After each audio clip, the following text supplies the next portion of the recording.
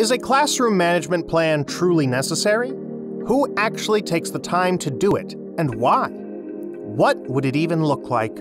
Hello! In today's video, we'll talk about classroom management plans. To run a classroom successfully and to properly help students in their learning, rules and guidelines should be set and co created with students. This will teach children how to behave in the classroom and abide by community rules that they take part in creating. So, what do we mean by developing a classroom management plan? And why is it essential to running a classroom with minimum negative disruptions? Well, then stick around till the end as we answer all these questions and more as we delve into this topic. All right, then, let's get started.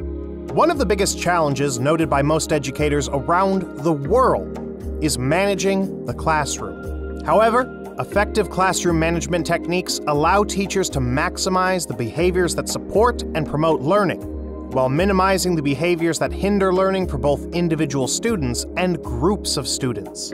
Thus, effective classroom management has all the following characteristics. A. Creates and maintains an orderly atmosphere in the classroom. B. Enhances meaningful academic learning and promotes emotional and social development. C involves time spent engaged in academic activities while decreasing negative behaviors. In other words, the objective of classroom management is order for the sake of learning, not order for order's sake.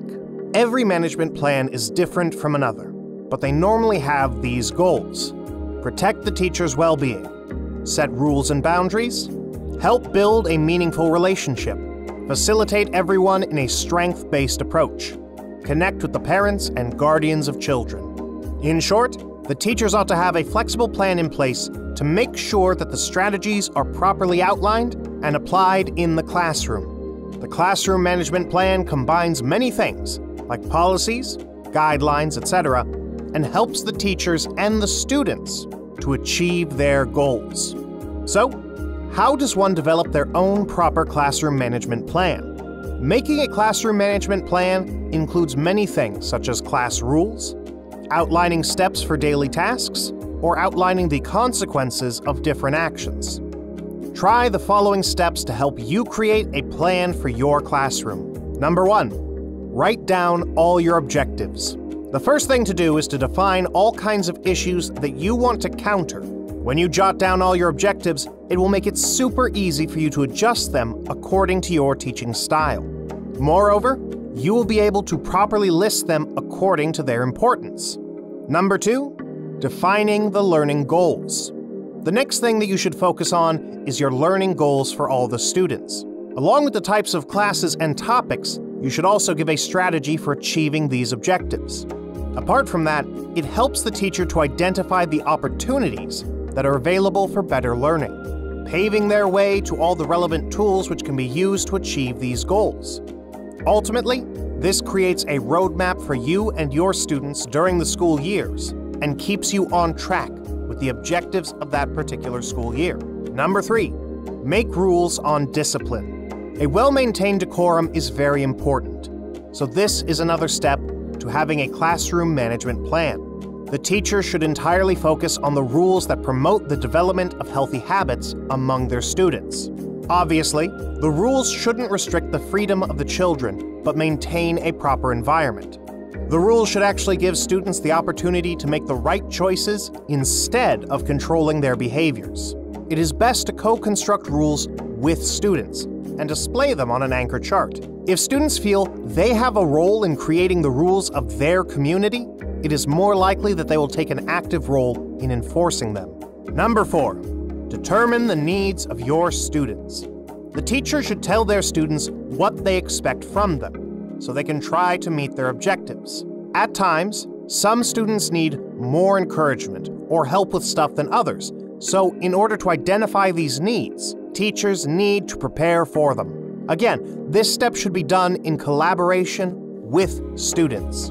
Number five, instruct, and present information. Whether reading from a book, using manipulatives like blocks with children, or projecting images on a screen for older students, it's essential to convey information and concepts in relevant and differentiated ways. Number six, engage your students. Use a variety of instructional activities, formative assessments, flexible grouping, and choose relevant and meaningful content that connects to the sociocultural life worlds of your students. Number seven, give students time to practice and ask questions. Once you deliver the lecture, give the students some time to process that information and digest it. Tell them to practice the things you taught, and the best ways to practice are the following guided practice, collaborative practice, independent practice. Number eight, end the lesson. The teacher should always finish up the lesson with a summary of the whole lecture. The overview of the lesson should include all the main concepts that were taught. Moreover, ask the students what they learned and how will they implement that. And also, before leaving, the teacher should inform the students about what they will be covering in the next class, so they know what to expect. Number 9. Evaluation. Keep a reflective journal. Driscoll and Teh offer us a simple framework for reflection. What? So what? Now what? Ask yourself questions. Were you able to achieve all the learning objectives that you planned? Were there any notable or problematic behaviors? What does the data from your formative assessments tell you? This will help you plan the next lesson and interactions with students. Summary The first step is writing down all your objectives. Defining the learning goals for yourself and your students is objective number two. Third, you need to collaborate with students to make rules on discipline to create a proper educational environment. Step number four, collaborate with students to determine their needs. Next, number five, instruct and present information. Number six, engage with your students. Number seven, give students time to practice and ask questions. Number eight, End the lesson. Check in with your students. See what they learned. Let them know what to expect for the next class. Finally, evaluate yourself and your students' progress. What can you do better? What have you done well? What can you do better? Were there any areas where students were struggling? Where did students do well? Keep track of your classroom's progress to better sketch out your classroom management plan. That is a wrap on this video. We hope you liked it, and if you did, make sure to press the like button. If you haven't subscribed already, make sure to subscribe to our channel to check out more mini lessons on educational topics.